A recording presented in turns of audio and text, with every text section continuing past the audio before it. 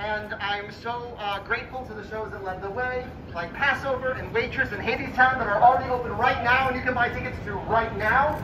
We have three shows making their opening night tonight, and um, we wanted to sing a song from one of our sacred hymnals um, by the great Kander and Ebb. It's a song called New York, New York.